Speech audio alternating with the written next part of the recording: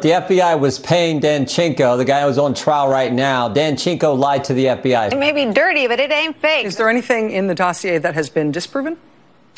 No. Uh, he was the primary subsource for the Steele dossier, which, of course, they used to go get the warrant to spy on Trump's campaign. Because a lot of these uh, facts have not been disproven. It's not been corroborated, but it hasn't been disproven either. The dossier in fact, is far from bogus. And Christopher Steele, we now learned that they were willing to pay him to validate something they already knew was false. This portion of the dossier hasn't been publicly proven or definitively disproven, but obviously, were it proven true, it would pretty definitively established extremely involved levels of collusion. And whole big parts of it are holding up. The dossier um, holds up well.